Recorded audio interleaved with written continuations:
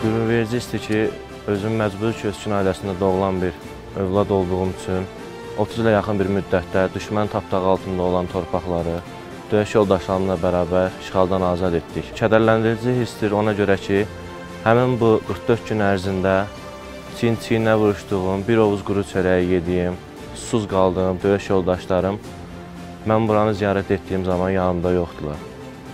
Biz burada bugün Sabulağın ziyarət eləyirsə, başda şəhid qardaşlarımız olmaqla, qazi qardaşlarımız olmaqla və hal-hazırda xidmətdə bizi qoruyan yoldaşlarımız, döyüşçü qardaşlarımız olmaqla hamısına borcluyuq.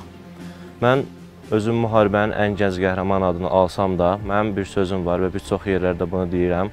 Döyüşçünün tək qanı yox, təri belə işğal altında olan torpaqlara düşürsə, hamısı qəhrəmanlar.